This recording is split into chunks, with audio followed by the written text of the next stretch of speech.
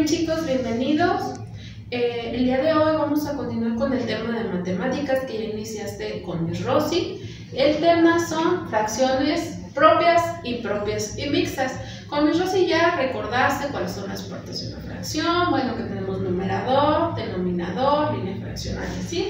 Y dentro de una fracción, bueno, eh, para poderla escribir, aquí tenemos una representación gráfica, para poderla escribir con número, recuerda que son las partes que se toman de un entero, es decir, las que estén iluminadas. Vamos a ver el primer ejemplo, tenemos 1, 2 y 3 partes iluminadas o tomadas del entero que equivalen a numerador, sería 3, porque el numerador va en la parte de arriba y el denominador son las partes en las que está dividido un entero. Vamos a contar en cuántas partes está dividido este entero.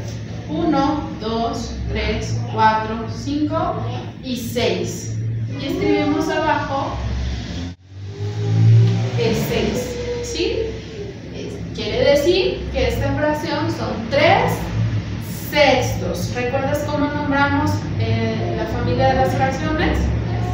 La figura completa le llamamos enteros.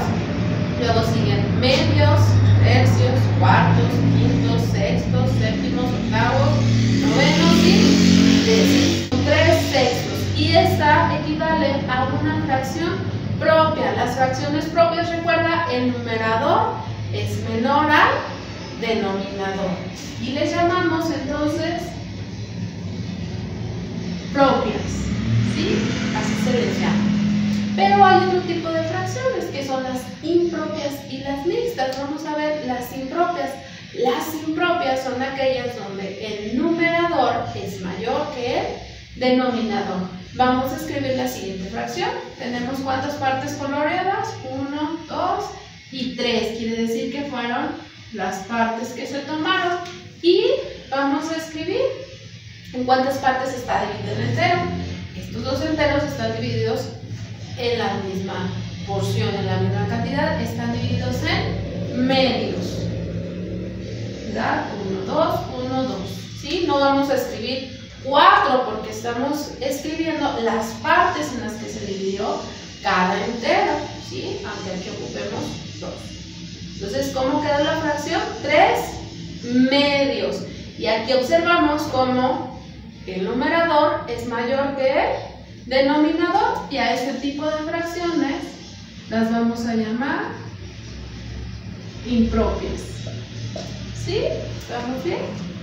¿Y cuáles son las mixtas? Bueno, las mixtas son aquellas que están formadas por una parte entera y por una fracción propia. Vamos a acomodar un poquito aquí porque creo que no deja espacio para el entero, pero no pasa nada. Entonces decíamos que las fracciones mixtas están compuestas por entero y por una fracción propia. ¿Qué vamos a ver? Vamos a observar cuántos están completos, de cuántos enteros se tomó todo, ¿sí? Aquí se tomaron los cuatro porque está dividido en cuartos, de este también y de este solamente uno. ¿Quiere decir que tenemos cuántos enteros? Dos. Y lo escribimos al principio un número más grande. Y esto representa los enteros. Tenemos dos enteros y de la última figura solamente se tomó uno. Y ese es el que vamos a escribir acá. Y tenemos uno. ¿De cuántas partes quedamos? De cuatro. Quiere decir que esta, esta fracción se representa en dos enteros, un cuarto. Recuerda, una fracción mixta tiene una parte entera y una fracción propia, no impropia, tiene que ser propia. Y a este tipo de fracción la llamamos mixta. ¿Sí? Retomamos propias, el numerador es menor que el denominador, impropias, el numerador es mayor que el denominador y mixtas está compuesta de una parte entera y de una fracción propia. Muy bien, pues vamos a ejercitar fracciones propias, impropias y mixtas. ¿Qué vamos a hacer? Vamos a observar eh, la representación gráfica, la fracción escrita con número y vamos a escribir de qué tipo de fracción se trata. ¿Me acompañas? Aquí tenemos 11 octavos. Son 1, 2, 3, 4, 5, 6, 7, 8, 9, 10, 11. ¿Sí? Son 11 partes que se tomaron de 8 partes que están divididas. ¿Sí? 11 octavos. ¿Qué pasa aquí? El numerador es mayor que el denominador. Entonces se trata de una fracción impropia. Muy bien. Fácil, ¿verdad? Y más para ti que pones mucha atención. La siguiente. Tenemos dos enteros y también una fracción que está tomada solo cierta parte. Acuérdate, ahorita no nos vamos a enfocar mucho en esta parte, solo es una representación gráfica, sino para que recuerdes cuál corresponde a la parte del numerador, cuál corresponde a la parte del denominador. Pero nosotros ya observando número, escritas las fracciones, cuando vamos a identificar si se trata de una fracción propia, impropia o mixta. Muy bien, la siguiente dice dos enteros, vamos a comprobar, dos cuartos, porque están divididas en cuatro partes. Dos enteros, dos cuartos, ¿de qué tipo de fracción se trata? Propia o mixta. ¿Sí?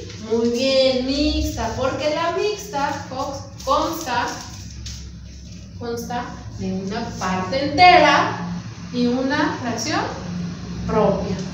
El que sigue, ¿qué será? Un entero, un cuarto. Fácil, ¿verdad? Lo acabamos de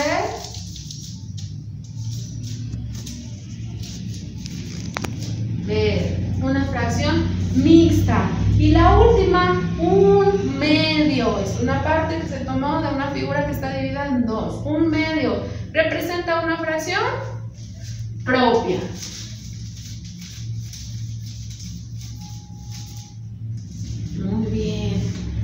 ahora si estás con papá, con mamá, con alguien que te esté acompañando, trata de decirle otro ejemplo de una fracción impropia.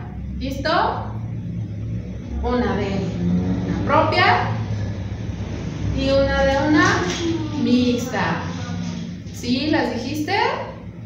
¿Correctas? Muy bien. Espero que tus papás te apoyen y que sí las hayas dicho correctamente.